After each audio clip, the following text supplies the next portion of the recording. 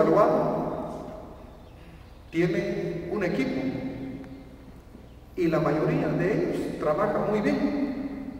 Con el dolor de corazón les digo, ayer precisamente fue despedido con Felipe Vance.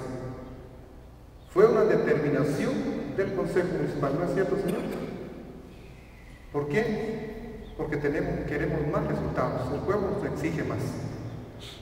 Y se los voy a decir claramente, y aquí después, es que no, no, no, no me gustan las especulaciones, los rumores.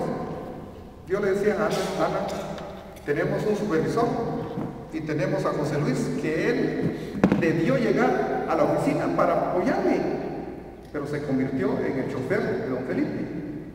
Entonces necesitamos un supervisor que sepa manejar moto por lo menos, para que no se dupliquen los gastos. ¿A quién le vamos a cuentas?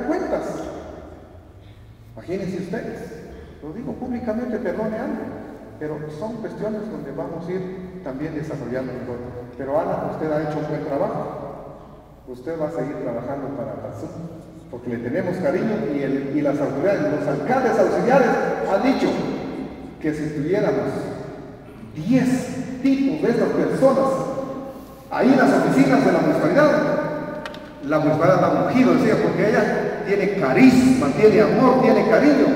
Cuando llega a eso a las 10 de la mañana, si un dulce está comiendo, les regala un dulce a todos. Pero con eso no vayan a venir todos los días a las 10 ustedes, porque se va a quedar pobre. Gracias, Ana. Felicitaciones. Buen trabajo. A otra persona, mi reconocimiento para él, eso. Póngase de pie eso.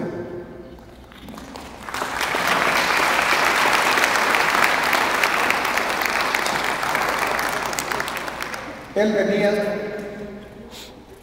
le propuse al inicio de la gestión municipal tres meses de venir a trabajar aquí en la MUNI.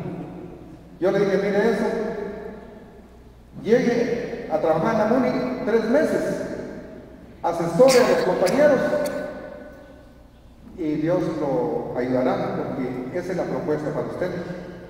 Él con toda la humildad se vino y con todo el deseo de superarse. Él no venía para tesorero. Contratamos a don Vicente, que fue un gran compañero. Él es un hombre empresario.